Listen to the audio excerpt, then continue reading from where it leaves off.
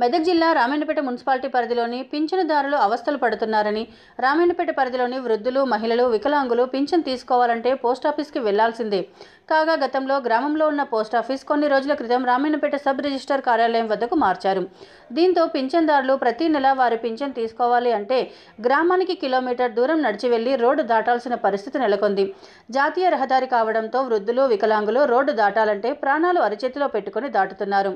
తమ పింఛన్ డబ్బులను బ్యాంక్ అకౌంట్లో వేసి తమకు అవస్థలు లేకుండా చూడాలని అధికారులకు పింఛన్దారులు విజ్ఞప్తి చేస్తున్నారు.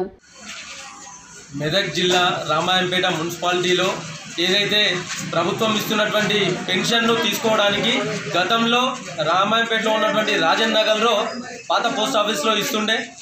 తర్వాత గత ఆరు నెలలుగా ఇక్కడ మెదక్ రోడ్డులో ఉన్నటువంటి ఊరికి దూరంగా మెదక్ రోడ్లో ఇక్కడ పోస్ట్ ఆఫీస్ వద్ద ఇవ్వడం జరుగుతుంది.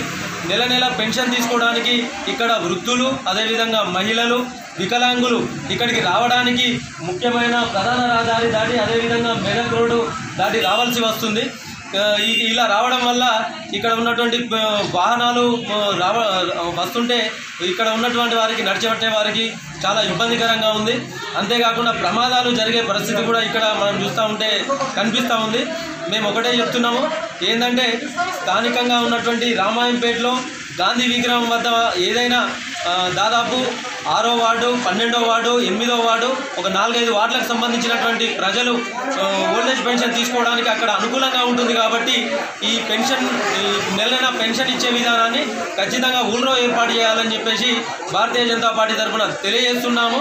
అంతేకాకుండా స్థానిక నాయకులు కూడా ఈ యొక్క పెన్షన్ విధానాన్ని ఊళ్ళో ఇచ్చే విధంగా ప్రోత్సహించాలని చెప్పేసి ఈ పెన్షన్కు వచ్చే వాళ్ళకు ఎటువంటి ఇబ్బంది కలగకుండా చూడాలని చెప్పేసి భారతీయ జనతా పార్టీ తరఫున అధికారుల దృష్టికి తెలియజేస్తున్నాము. ఇక్కడికి వచ్చి తీసుకోవడానికి మహిళలకు అదేవిధంగా ఇక్కడ పెన్షన్ కోసం వచ్చిన వారికి చాలా ఇబ్బందులు ఎదురవుతున్నాయి. ఇక్కడ కూర్చోవడానికి స్థలం లేదు తాగడానికి నీళ్ళు లేవు. మూడు గంటల పాటు ఎదురు చూసినట్టయితే ఇక్కడ బాత్రూమ్ పోదామంటే కూడా మహిళలకు టాయిలెట్స్ కూడా లేవు. అందువల్ల మేము ఒకటే కోరుతున్నాము రామాయంపేటలో ఇంకొక రెండు మూడు కేంద్రాలు పెన్షన్ కేంద్రాలు ఏర్పాటు చేయాలని చెప్పేసి మేము ఈ విధంగా అధికారుల దృష్టికి తెలియజేస్తున్నాము. వెంటనే ఈ రెండు మూడు రెండు రోజుల్లో ఖచ్చితంగా ఈ యొక్క కేంద్రాలను ఏర్పాటు చేసి ప్రజలకు ఇబ్బంది కలగకుండా పెన్షన్దారులకు సౌకర్యంగా ఉండే విధంగా అనుకూలమైన స్థలాన్ని ఏర్పాటు చేసి